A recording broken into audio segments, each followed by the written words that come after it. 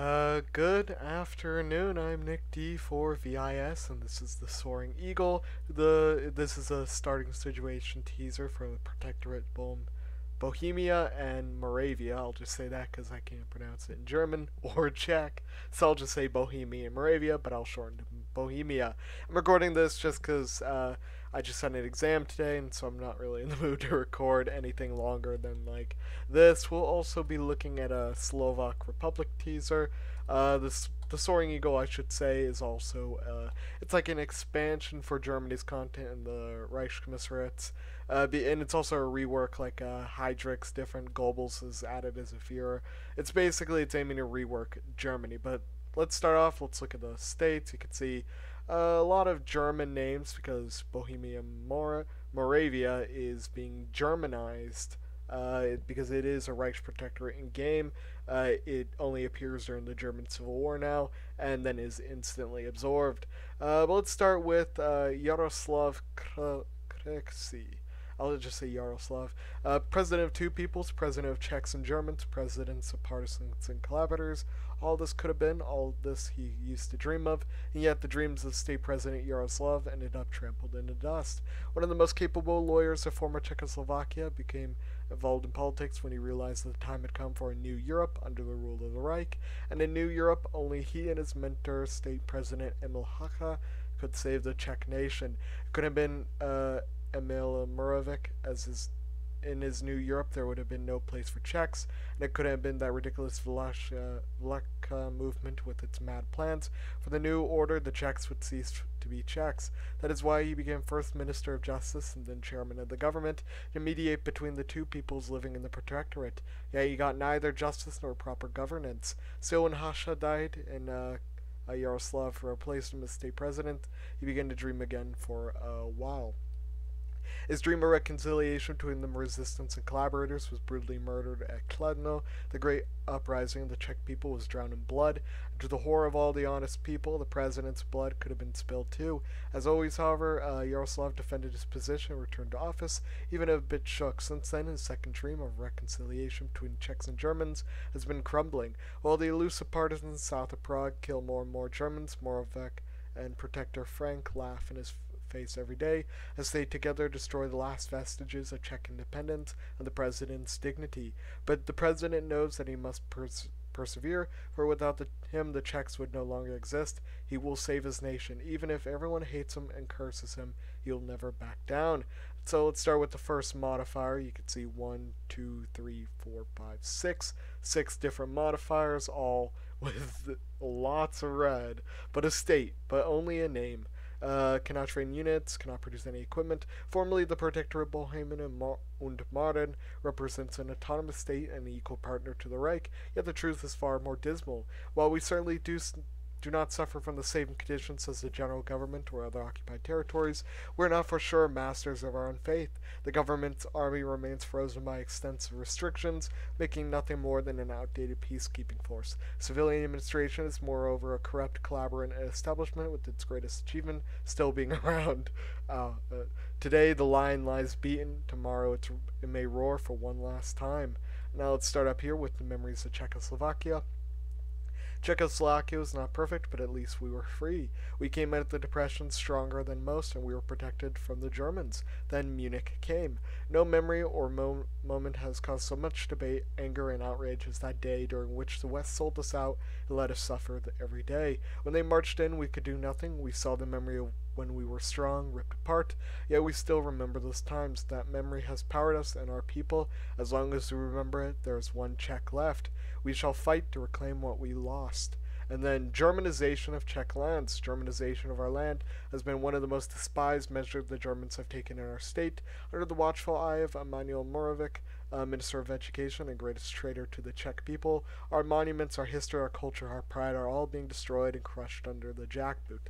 This has bolstered resistance from all corners, ranging from government officials to the rebels and common man. Everyone knows this is the last roll of the dice for the Czech people, and that a bad roll would mean the, the future Czech history books will end in our time. We will not go like dust in the wind. And then the divided government. Ever since its founding, our government suffered from a plague comprising of contradictory ideological groups. The state administration is highly ineffective, lacking a common purpose, while moderate center around President Yaroslav tries to save what little is left to Czech sovereignty.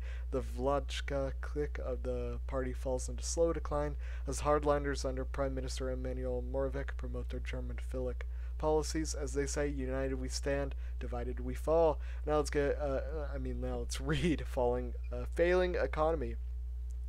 Only two decades ago, our industry was the powerhouse of Europe. Our industrial goods could be found throughout the world. A strong agricultural sector that was the pride of the homeland. Yet ever since they marched into Prague, we have seen only our nation decline. Our industry, our wealth is shipped west to the Reich, leaving us only with table scraps. As Germany's economy goes into decline, we suffer. What little we make from exports has been rendered useless as inflation grips the pact. The basic structure of the economy is maintained through massive loans from the Reich, ending any hope for long-term financial stability, as taxation has been unable to make up for the loss. The lack of a stable government has prevented any major reforms from taking place. Instead, the politicians bicker and debate while the common Czech sees his standard of living decline. Now let's go to the last one flame of defiance. A lion is a lion in a cage, it will not become a donkey. Perhaps in Germania, they may think that Czechs are loyal subjects, yet nothing can be further from the truth. Brave and true people of resistance are biding their time, living in the shadows of oppression. In Washington and Rome, the exiles opposed the illegitimate claim of traitors in Prague, the moral carcass of politicians who sold their country. Every atrocity, every crime committed by the collaborators or Germans itself lit the flame of defiance. Uh, UNOV is prepared for the inevitable fall of the Reich. UNS avenges all those murdered in the name of National Socialism. Even in the government army itself, the hatred of our sycophantic regime is growing. When will the hour of fate arrive? And I think we know when the hour of fate will arrive. Uh, that is when the German Civil War begins. But now let's read Rage Against the Dying of the Light. There was no crying, no tears, no sorrow throughout the streets of Petrovice, now recurrent rechristened as Petrowitz, Jan uh, Strovny stood over a small field that overlooked the village. In many ways, it was like being back in the old times. Closing his eyes, Jan let the warm afternoon breeze take him back. Children ran, screaming and hollering, enraptured inside their playground games.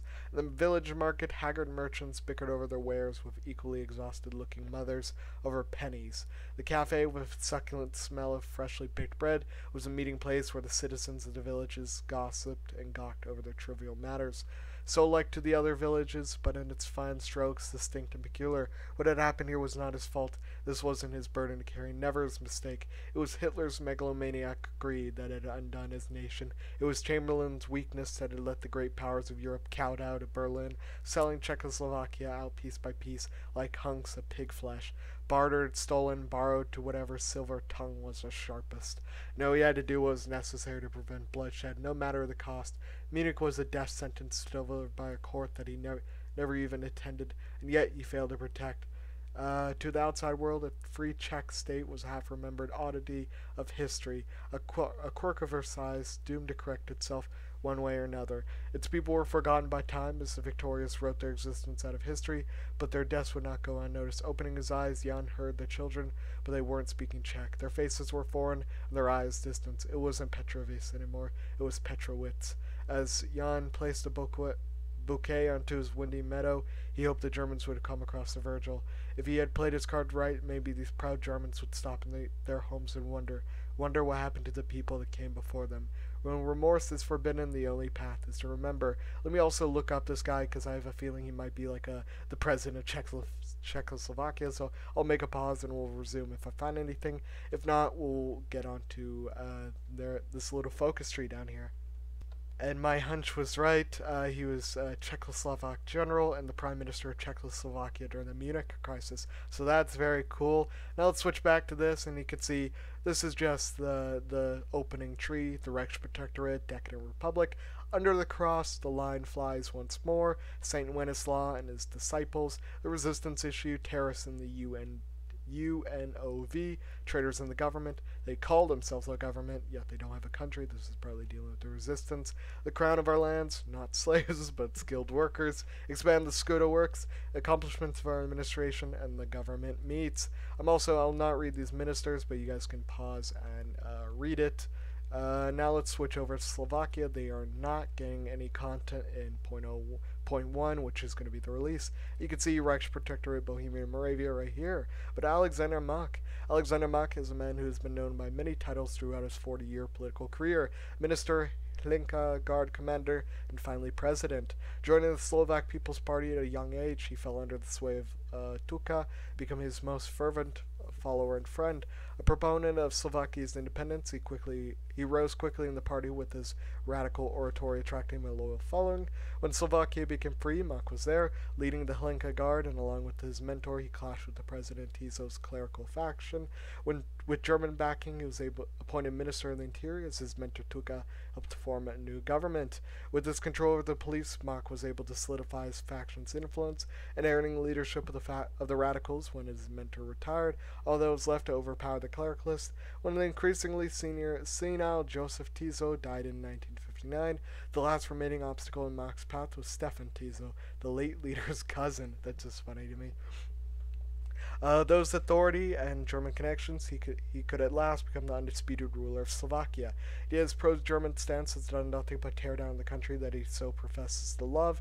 With the failures of the Slovak expeditionary force in the West Russian War already stained on his name, he has let his nation be exploited as his people grow ever more discontent and opposition grows ever more powerful. Mach's position grows shakier with his with just his loyal Hlinka Guard and Germania's backing, keeping his regime afloat. Uh, I have a feeling as soon as the German civil war starts, he's going to die. Uh, but Slovak cultural golden age. The Slovak people have never been free, ruled for a millennium by the Hungarians, to being lured with false promises of equality and subjugation by the Czechs. Now they have a country of their own. To be a Slovak in this time is to experience what their ancestors before them have dreamt of for a thousand years. The golden age of Slovak culture reaching its epoch, fueled by a new generation, those born speaking only the language of their people and then pervasive pessimism. When the Slovaks got their independence in 1939, many thought they would be free to decide their own fate, free to grow and develop without any interference. However, that never happened. A master worse than the Czechs, the Germans, came, while the leaders of the new free Slovakia licked their boots. Now the country languishes as the discontent rises. Much of the population sees no option for the truly free Slovakia other than to join the resistance. And die Karpendeutschen since the Middle Ages, ethnic Germans have lived in significant numbers in Slovakia as tradesmen, shopkeepers, and craftsmen, loyal to the National Socialist cause when the Germans marched into Czechoslovakia, and they now wield disproportionate power thanks to Franz Karm- Karmasin's Deutsches Deutsches Party. Bandits and terrorists aligned with the dead Prague government like to attack the German population at anger, which may provoke uh, Germania should we become unable to control the situation and the Heimatschutz will defend its land. And now, finally, disloyal army. A significant portion of the armed forces are in reality far less loyal than they would like us to think. Rumors swirl of disloyalty even up to the highest rank of governments, of leading figures within the Republic working to bring it down uh, from the inside through coordination with terrorist elements in the mountain. Only time can tell uh, who will prove their faith in us, or who will show their true colors. Anyway, I'm Nick D4 VIS. This is the Soaring Eagle. I cannot wait for it to come out. There's, in fact, a bunch of other content I, I'll probably make in a separate video showing like Goebbels and Heydrich's uh, Führership, or at least their opening trees. But anyway, I'll see you guys next